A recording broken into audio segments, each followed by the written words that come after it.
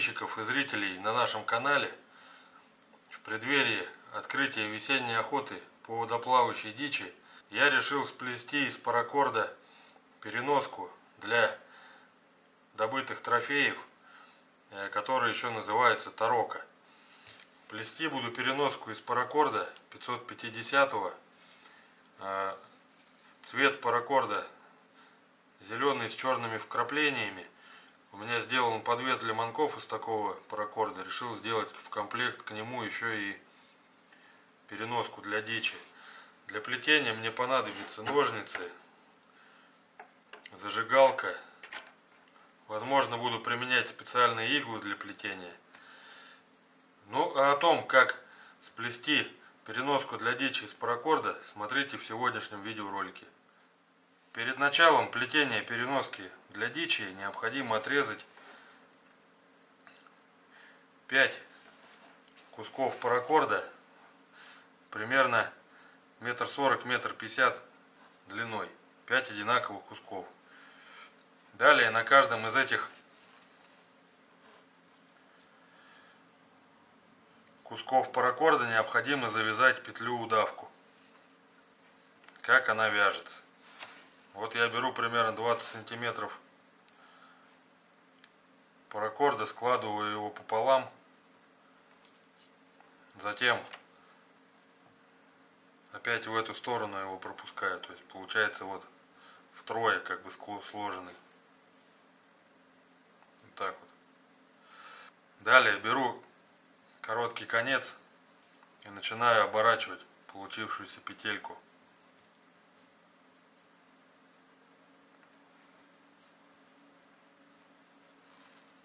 Много оборотов не делаю, 4 вполне достаточно. И просовываю свободный конец в эту петлю. Беру иголку и начинаю затягивать петлю за два конца.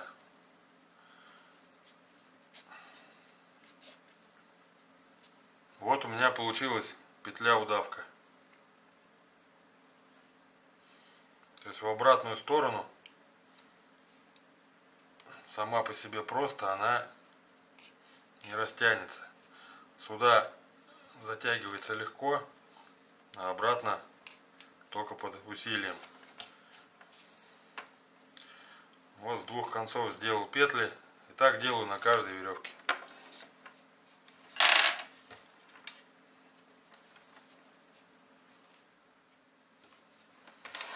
Вот навязал на все пять концов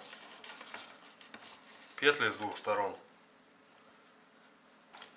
Дальше я беру и складываю эти веревки одну к одной.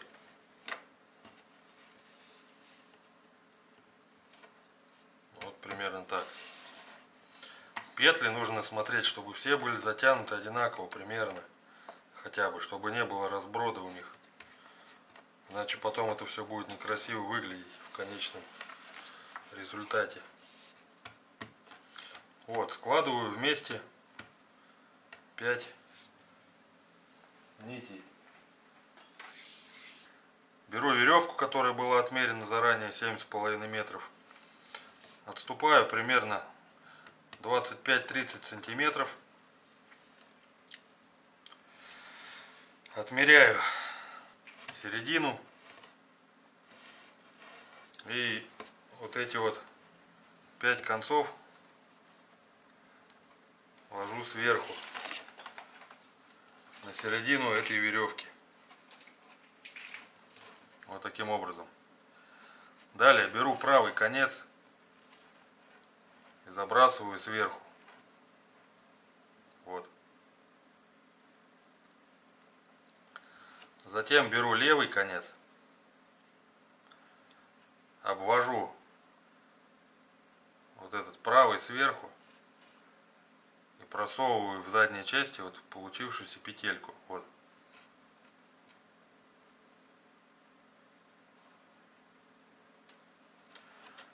Протаскиваю.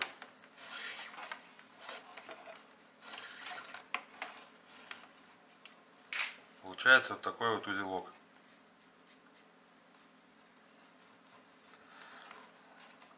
Затягиваю, но не сильно.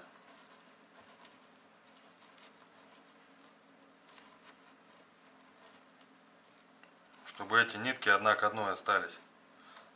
Хотя бы в начале, чтобы вот так вот получалось.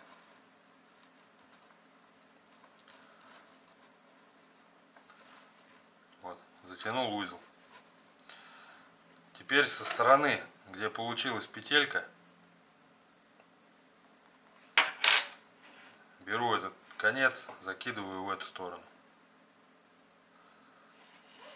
Беру второй конец, закидываю сверху его вот сюда и провожу в эту сторону. Получившуюся петлю протаскиваю. Вот он опять этот узел получился. Затягиваю.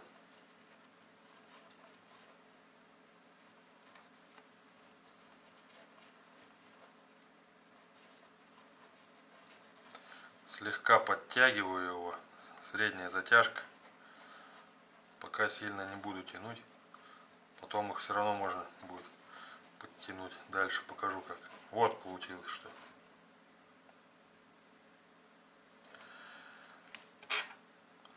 Теперь в обратную сторону. Здесь получилась теперь петля. Беру этот конец закидываю сверху. Беру второй конец. Перекидываю его через второй конец из задней части протаскиваю получившуюся петлю. Затягиваю.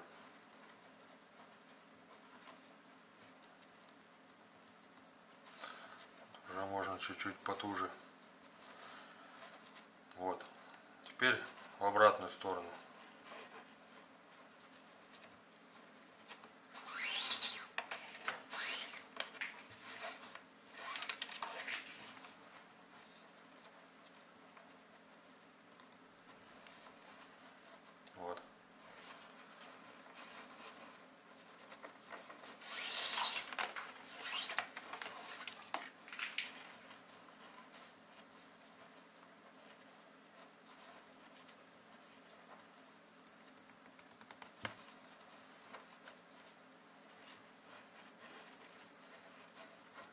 таким образом оплетаю все это дело.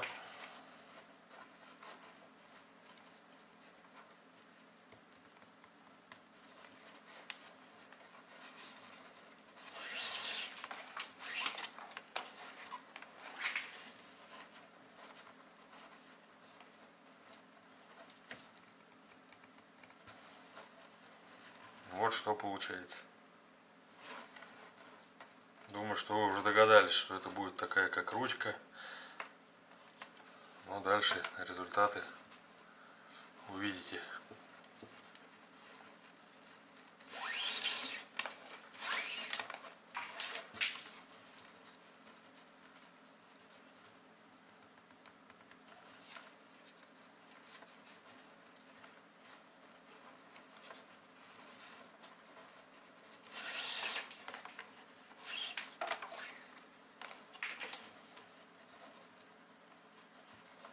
Периодически тут надо разминать,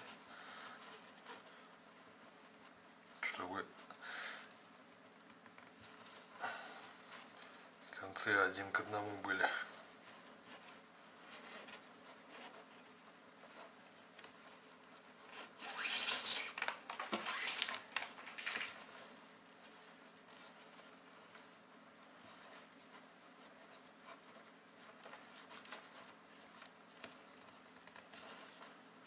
Вот так и плетется. Потом можно подтянуть, поплотнее сделать. Чем плотнее они будут соприкасаться, тем грубее будет она. Можно как палку прям сделать. Поэтому сильно тут перестараться тоже особого смысла не вижу, но получается, конечно, красиво. Ну теперь выключаю камеру. Когда буду завершать это плетение, уже покажу, что дальше делать. Ну вот почти закончил плетение, осталось буквально пару узлов.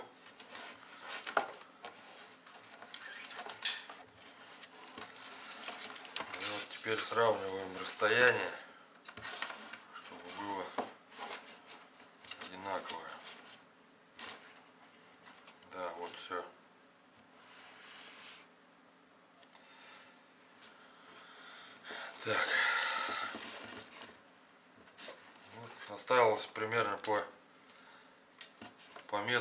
80 сантиметров. Два конца. Ничего страшного, куда-нибудь на шнурки пойдут.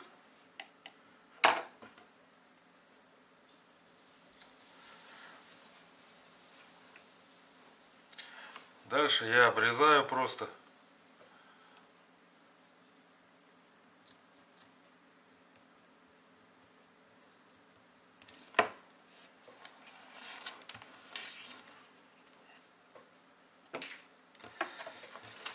И обжигаю концы. Плавляю зажигалкой. И приплющиваю чтобы узел не расходился.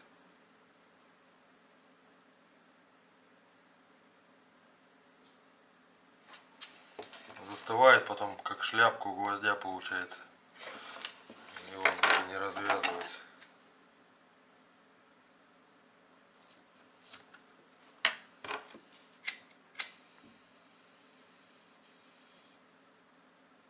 Два года уже использую такие вещи, пока проблем не возникало. Вот с этой стороны у нас нету, с этой только вот запаял. И теперь все петли выравниваю, чтобы они были примерно одинаковые. И также на петлях обрезаю концы и заплавляю.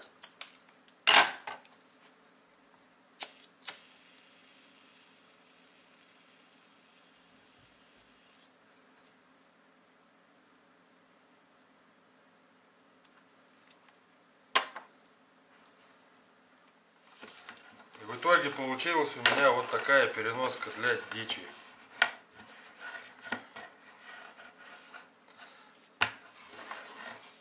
С петлями удавками на конце.